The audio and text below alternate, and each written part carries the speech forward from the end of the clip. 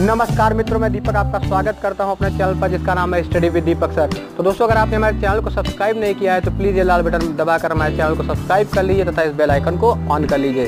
तो मित्रों, आप लोगों के लिए एक बहुत बड़ी खुशी की खबर आई है।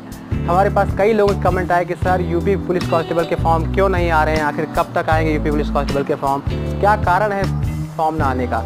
तो मित्रों, आज 14 तारीख को अमर उजाला ने एक कटिंग निकाली थी, जिसमें लिखा हुआ था, सिपाहियों का सिपाहियों की भर्ती जल्द कराई जाएगी। डीजीपी ऑफ़िस ने भर्ती बोर्ड को प्रस्ताव भेज दिया है। तो इसमें बयालीस हज़ार सिपाहियों की भर्ती होनी है।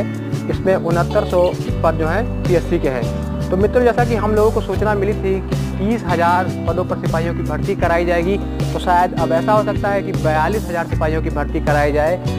आगे पढ़ता हूँ मैं, इसमें लिखा हुआ है, पुलिस विभाग ने लगभग बयालीस हज़ार सिपाहियों की भर्ती प्रक्रिया जल्द ही शुरू करने के लिए डीजीपी मुख्यालय में भर्ती बोर्ड को प्रस्ताव भेज दिया है। इसमें पीएससी के सिपाहियों के लिए उनहत्तर पद होंगे।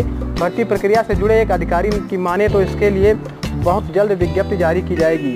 अभ्यर्थियों को ऑनलाइन आवेदन के लिए तीन से चार हफ़्ते का समय भी दिया जाएगा।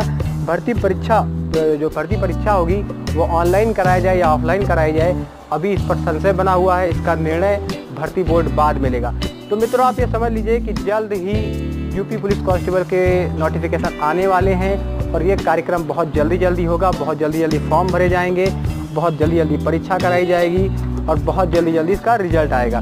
तो मित्रों, जैसा कि हम लोग को सूचना मिली थी कि फॉर्म तीस हज़ार आएँगे, लेकिन अब लग रहा है बयालीस हज़ार आने की संभावना है तो भर्ती में जुट जाइए, अच्छे से तैयारी कीजिए प्लीज़ हमारे चैनल को सब्सक्राइब ज़रूर कर लीजिए। धन्यवाद।